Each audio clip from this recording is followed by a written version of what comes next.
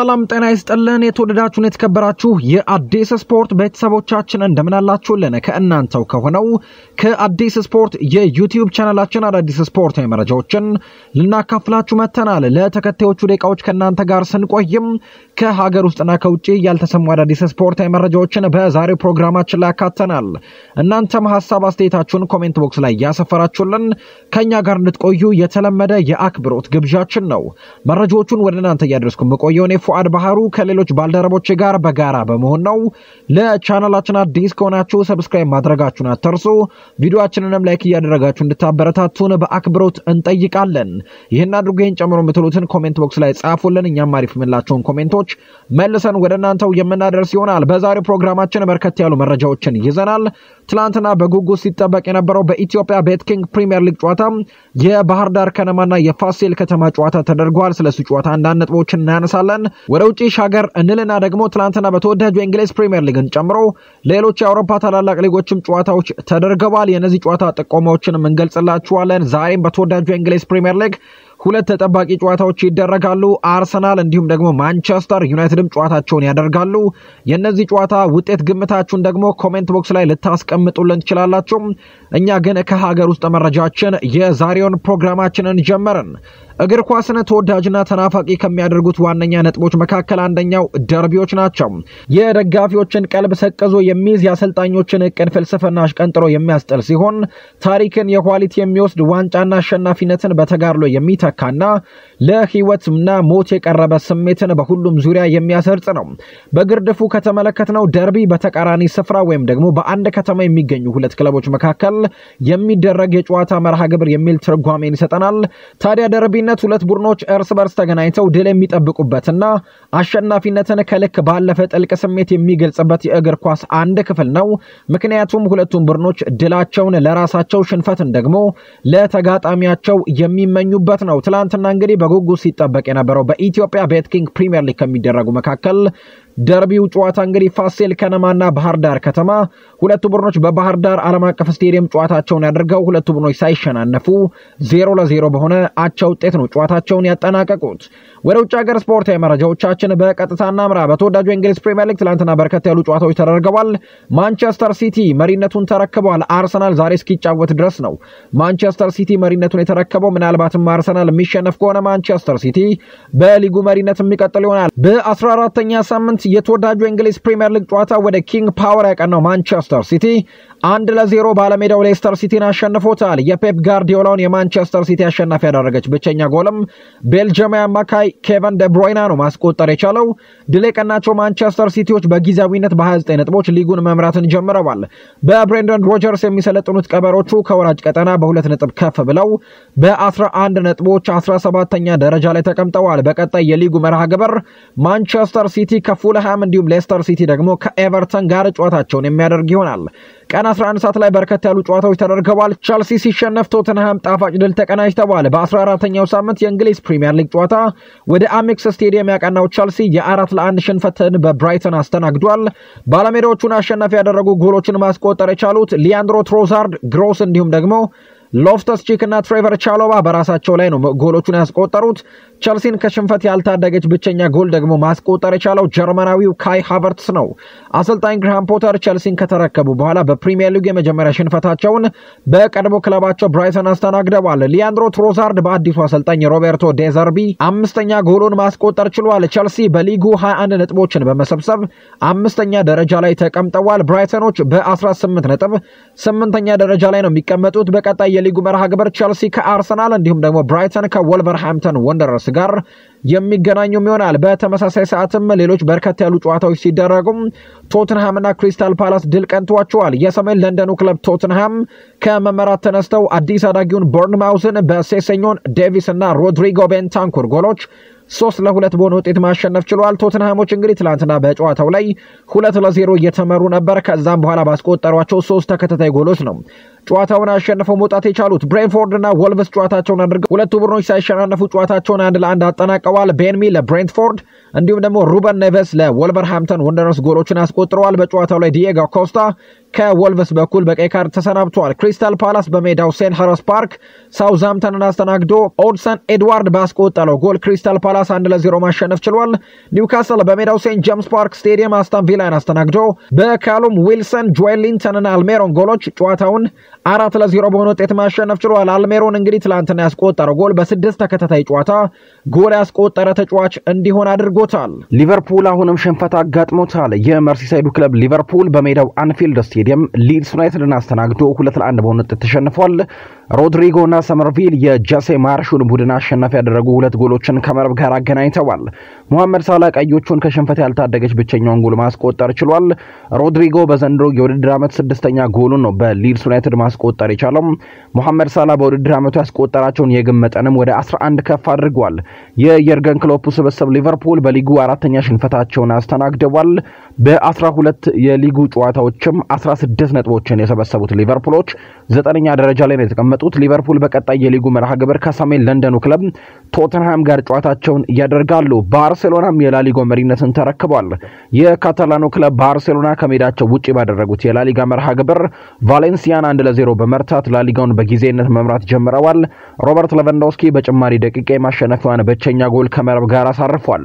አስረኛ ድላቸውን በላሊጋ ያስመዘገቡት ባርሴሎናዎች በ31 ነጥብ የሊጉን መሪነት ከሪያል ማድሪድ ተረክበዋል። ዛሬ ሪያል ማድሪድ ከጂሮና ጋር ጨዋታውን እንደሚያደርግ ይታወቃል። ባርሴሎና በቀጣይ የሊጉ መርሃ ግብርም አልሜሪያን በሜዳቸው የሚያስተናግዱ ይሆናል። በሌሎች ሊጎችም ትናንትና ጨዋታዎች ተደርገዋል። በ French ሊግ ዋን ትናንትና እንግዲህ ፓሪስ ሳን ጀርሜን ድል ቀንቶታል። በ13ኛ ሳምንት የ French ሊግ ዋን መርሃ ግብር ፓሪስ ሳን ጀርሜን በሜዳው ፓርክ ደ ፕሪንስስ ትሮይስን አስተናግዶ አራት ለሶስት በሆነ ውጤት ማሸነፍ ችሏል። ለፓሪስ ሳን ጀርሜን ግቦቹን ካርሎስ ሶለር፣ ሊዮኔል ሜሲ፣ ኔይማር ጁኒየር እና ኬሊያን እምባፔ በፍጹም ቅጣት ምቶች ማስቆጠር ችሏል። ሊዮኔል ሜሲ እና ኔይማር ጁኒየር ግብ ከማስቆጠር በተጨማሪም assist አድርገዋል። ለትሮይስ ሁለቱን ግቦች ማማ ባልዴ እና አንዷን ጎል ደግሞ ፓላቬርሳ ነው ማስቆጠር የቻለው። ፓሪስ ሳን ጀርሜኖች ሊጉን በ35 ነጥብ እየመሩ ይገኛሉ። ትሮይሶች በበኩላቸው በ13 ነጥብ 11ኛ ደረጃ ላይ ነው የተቀመጡት። በጀርመን ቡንደስሊጋም ጨዋታ ተደርጓል። ባየር ሙኒክ በሜዳው አሊያንዝ አሬና ስቴዲየም ማይንዝን አስተናግዶ 6 ለ2 በሆነ ውጤት ማሸነፍ ችሏል። ሰርጂ ናብሪ፣ ሳዲዮ ማኔ፣ ማቲያስ ቴል፣ ጀማል ሙሲያላ፣ ሊዮን ጎሬትስካ እና ኤሪክ ማክሲም ቹፖሞቲንግ ናቸው ጎሎቹን ማስቆጠር የቻሉት። በጀርመን ቡንደስሊጋ ሌሎች ጨዋታዎች አርቢ ላይፕዚሽ ባየር ሌቨርኩሰንን ሁለት ለዜሮ በሆነ ውጤት ማሸነፍ ችሏል። ቮልስበርግ ቦቻምን አራት ለዜሮ እንዲሁም ስቱትጋርት ደግሞ ኦግስበርግን ሁለት ለአንድ በሆነ ውጤት ማሸነፍ የቻሉባቸው ጨዋታዎች ትላንት የተደረጉ ናቸው። በጣሊያን ሴሪኤ ናፖሊ መሪነቱን አስቀጥሏል። በአስራ ሁለተኛው ሳምንት የጣሊያን ሴሪኤ ጨዋታ በሜዳው ዲየጎ አርማንዶ ማራዶና ስቴዲየም ሳሶሎን ያስተናገደው ናፖሊ አራት ለዜሮ በሆነ ውጤት ማሸነፍ ችሏል። የሉቺያኖ ስፓሌቲውን ክለብ አሸናፊ ያደረጉ አራት ጎሎችን ቪክተር ኦስሜን ሶስት ጎሎችን ማስቆጠር ሲችል እንዲሁም ድንቁ ተጫዋች ክቫራትስኬሊያ አንዷን ቀሪ ጎል ከመረብ ጋር ማሳረፍ ችሏል። ናፖሊ የጣሊያን ሴሪኤን በ32 ነጥቦች መምራቱን ቀጥሏል። በቀጣይ የሴሪኤ መርሃ ግብር ደግሞ ናፖሊ ከአታላንታ እንዲሁም ደግሞ ሳሶሎ ከኢምፖሊ ጋር ጨዋታቸውን የሚያደርግ ይሆናል። በ Spanish ላሊጋ አትሌቲኮ ማድሪድ ሽንፈት ገጥሞታል። በ12ኛ ሳምንት የ Spanish ላሊጋ መርሃ ግብር አትሌቲኮ ማድሪድ ወደ ኑዌቮ ሚራንዲሎ አቅንቶ ከካዲዝ ጋር ያደረገውን ጨዋታ ሶስት ለሁለት በሆነ ውጤት ተሸንፏል።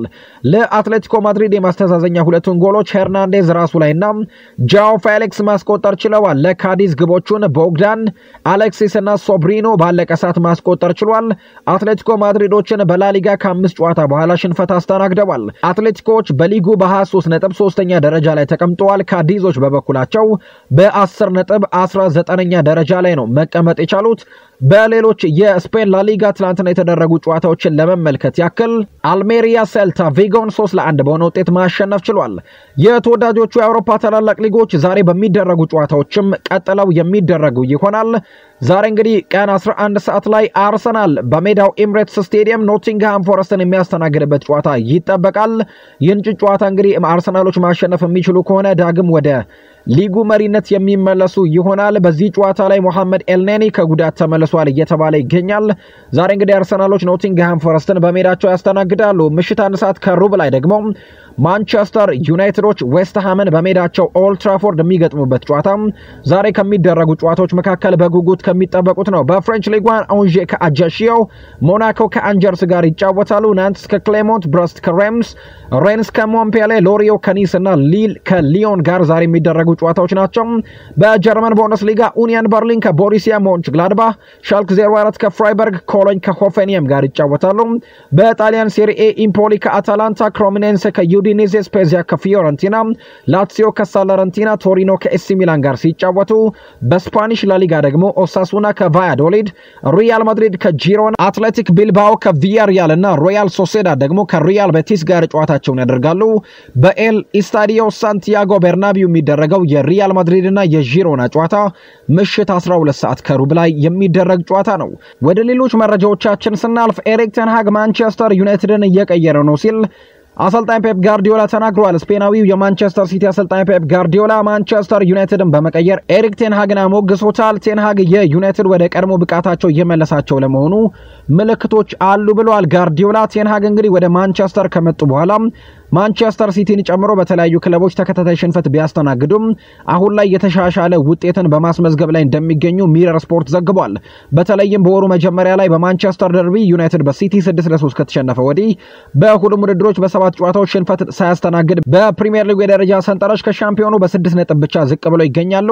በተለይም በስታምፎርድ ብሪጅ ከቼልሲ ጋር ባደረጉት ጨዋታ አንድ ለአንድ በሆነ ውጤት መለየቱ እንዲሁም ቶትንሃምን በፍጹም የበላይነት ማሸነፉ እግር ኳስ አፍቃሪያን አጀማመራቸው ባላማረ ቴንሃግ ላይ የነበራቸውን ተስፋ እንደገና ከፍ እንዲል ያደረገ ነበር። እንደ ፔፕ ጋርዲዮላ ከሆነ ቴንሃግ ዩናይትዶችን እንግዲህ ወደ ትክክለኛው አቅጣጫ እየወሰዳቸው ነው ብሏል። የሲቲው አሰልጣኝ ከጨዋታው በፊት እንግዲህ በነበረ ጋዜጣዊ መግለጫ ላይ እንደተናገሩት ዩናይትድ ተመልሶ እንደሚመጣ ይሰማኛል። በመጨረሻም ዩናይትድ ተመልሶ ይመጣል። በመጀመሪያው አጋማሽ በቸልሲ ላይ አይቻለሁ። በጨዋታው የተመለከትኩት ነገርን ወድጄዋለሁ ብለዋል። ይህ ብቻ አይደለም። ጋርዲዮላ ዩናይትድ በቴንሃግ መሪነት ጠንካራ ፕሪምየር ሊግ ተፎካካሪ ክለብ ሆኖ እንደሚመጣ ያላቸውን እምነት ገልጸዋል። ጋርዲዮላ የቀድሞ የማንቸስተር ዩናይትድ አሰልጣኝ የኦሌ ጉናር ሶልሻየር ይሰናበታሉ ከተባለበት ወቅት ጀምሮ የአያክሱ ቴንሃግ ትክክለኛውና ለዩናይትድ የሚመጥኑ አሰልጣኝ መሆናቸውን ምክረ ሀሳብ ሲያቀርቡ እንደነበር አይዘነጋም።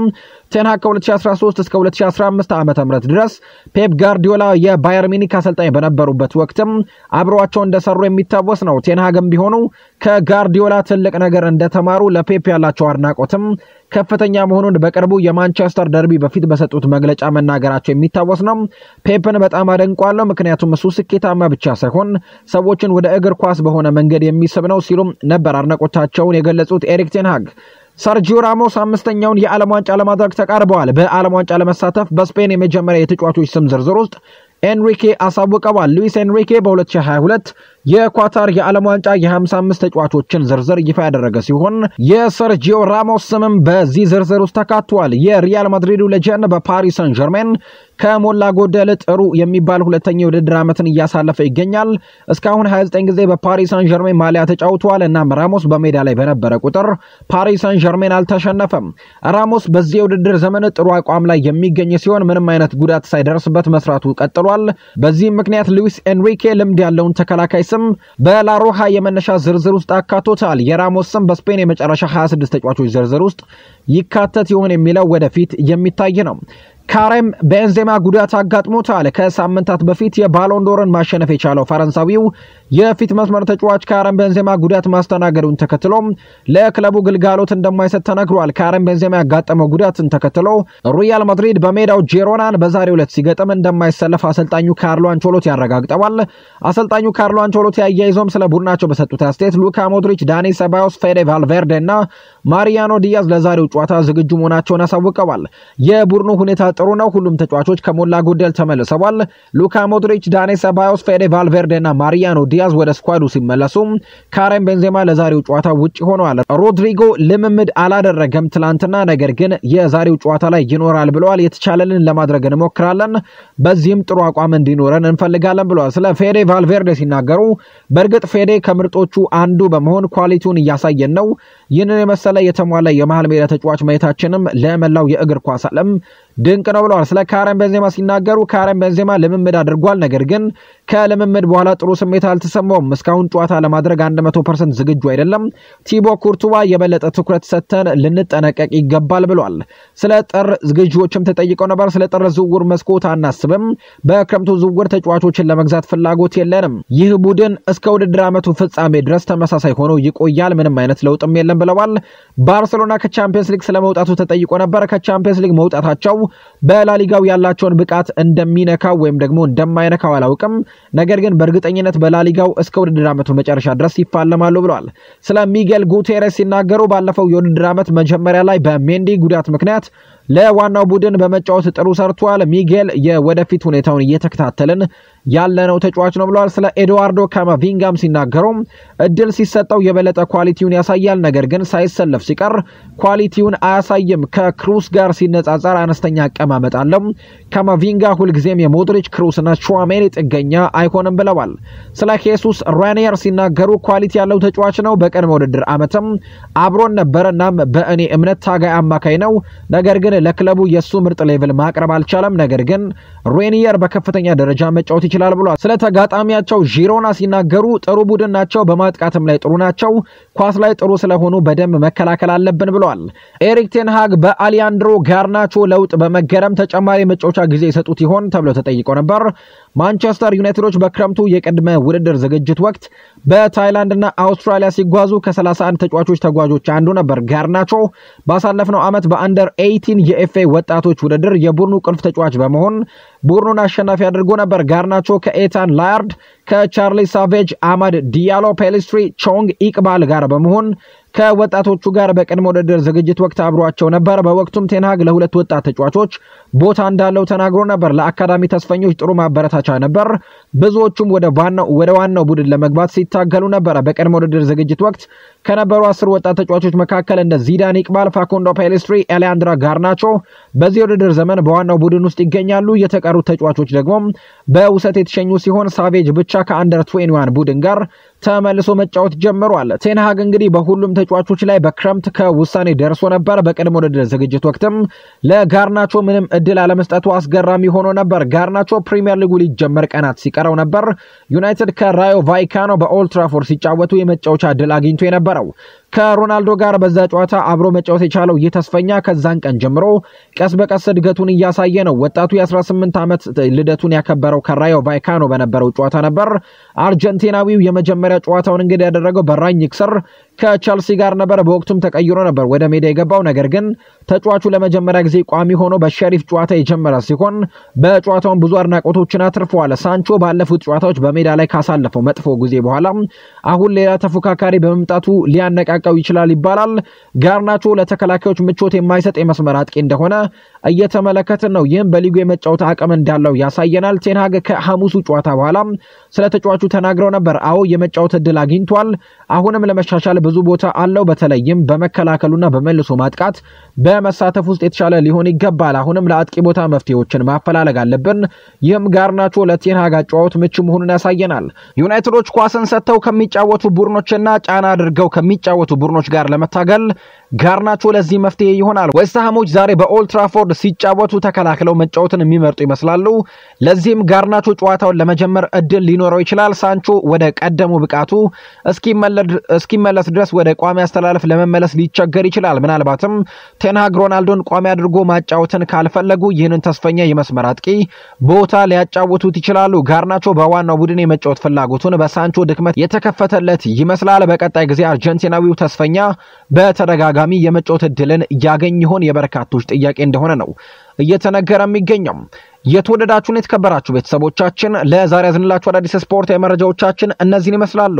ስላደመጣችሁን፣ ስለተከታተላችሁን፣ ስለምትጽፉልንም ከልብ አድርገን እናመሰግናለን።